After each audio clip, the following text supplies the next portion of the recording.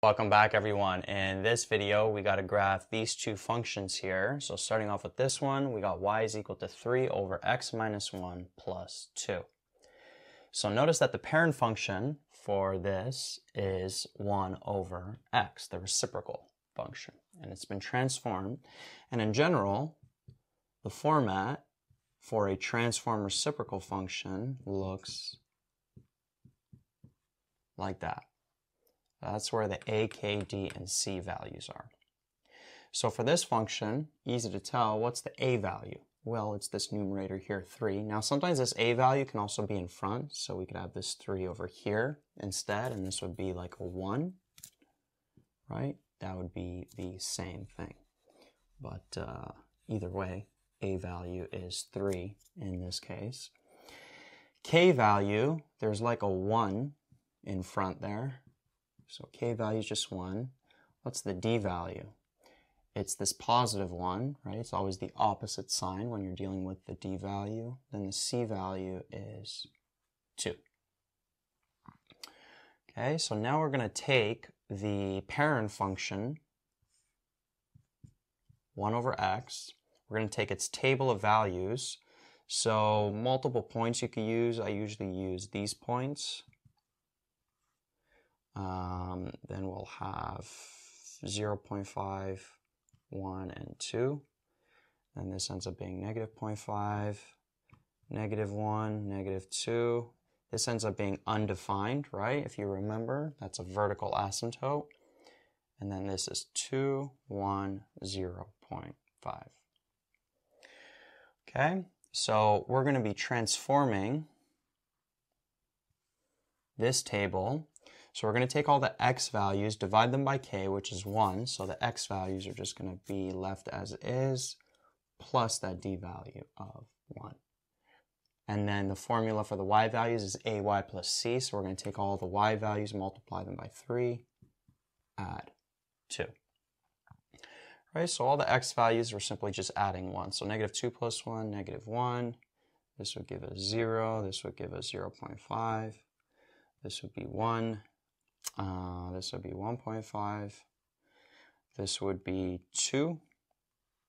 And then this would be um, 3. Like that. I think that works. Okay. And then um, all of the y values we're going to multiply by 3 and then add 2. So negative 0.5 times 3 gives us negative 1.5 plus 2 gives us negative or uh, positive 0.5. 0 times 3, or uh, sorry, negative 1 times 3 gives us negative 3 plus 2 gives us uh, negative 1. Negative 2 times 3, negative 6 plus 2 gives us negative 4. And then undefined, this is undefined as well. And then 2 times 3, 6, that would give us 8. And then 1 times 3 plus 2 gives us 5. And then uh, 0.5 times 3 gives us 1.5 plus 2 gives us uh, 3.5. Like that. Okay, so we took these points and we just simply transformed them. So now we can graph these points. Um, I'm going to graph it over here just to save myself some room. Now, if you remember with a reciprocal function, what I told you is the d value, if it's been transformed, that's always going to be the vertical asymptote, and then the c value is always going to be the horizontal asymptote. You could actually tell from the table the vertical asymptote is 1 because at an x value of 1, it is undefined. The y value is undefined. So that there represents the vertical asymptote. So before I plot the points, what I like to do is I always like to first plot the vertical asymptote. So at an x value of 1, put a dotted line there. Then I like to plot the horizontal asymptote. So that's at a y value of 2. And then it just gives me a context to which put these points under. So now I could just plot these. So negative 1 and 0 0.5, that would be what? That would be like, um, I'd say here, let's say. And then we would have 0 and negative 1, which would be like down here. And then 0.5, negative 4, which would be like over here. Then 1.5 and 8, that would be like up here. Uh, 2 and 5, that's like over here. And then 3 and 3.5, that's like over here. Right? So not necessarily the scale. You may want to um, label these points as well. So you may want to actually write, you know, negative 1 and 0.5 label this point, this point, etc., etc. I just didn't do it because my graph is not too big, so it might just uh, obstruct the view. But this is how your um, your graph should look like. This is the transform table. This is the graph. And remember, d value for a reciprocal function, it's always the vertical asymptote. C value is the horizontal asymptote. So before you plot any points, always plot those asymptotes based on the D and C value. Okay, moving on to this function.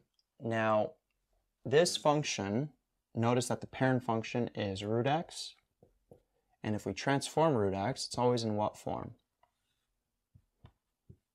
It's always in this form. Okay, so what we have to do is we actually have to rearrange this. So if you see 2 minus x, you want to actually re re uh, rearrange it so the x is in front. So 2 minus x is the same as negative x plus 2.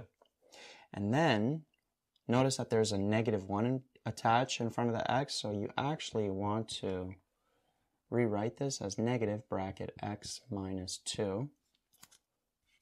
And then this here will be plus 4 right? And now it's easy to see what are the transformation values. So the A value is negative a half. K value is negative 1. The D value is 2. And the C value is 4. So we're going to take um, the parent function root x, which has 0 0.012 or uh, 0.014 rather, and nines. This would be 0, 1, 2, 3. And we're going to transform it with these transformation values using the transformation formula. So we're going to take all the x values, divide them by negative 1, the k value, and then we're going to add 2. All the y values are going to multiply by a half, and we're going to add 4. So 0 divided by negative 1, 0 plus 2 gives us 2. 1 divided by negative 1, negative 1 plus 2 gives us positive 1. 4 divided by negative 1 is negative 4 plus 2 gives us negative 2.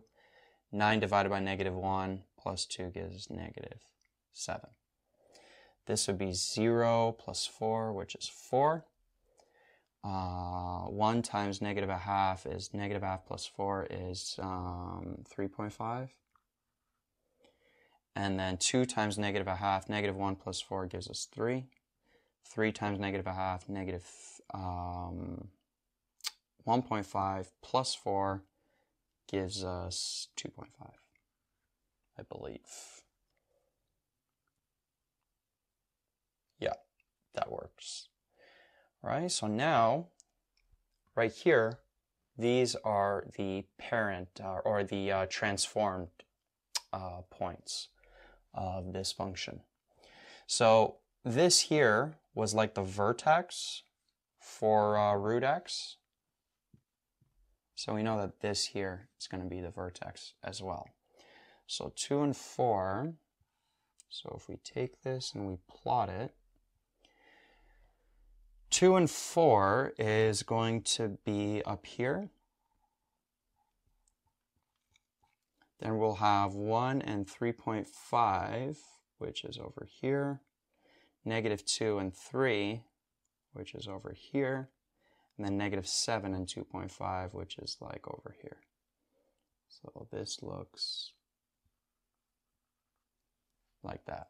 So we got 2 and 4, we got 1 and 3.5, we got uh, negative 2 and 3, and then this here, this point is negative 7 and 2.5 right? So that's how the transform function looks. That's how this function looks. So we took root x, transformed it, then we just plotted those points.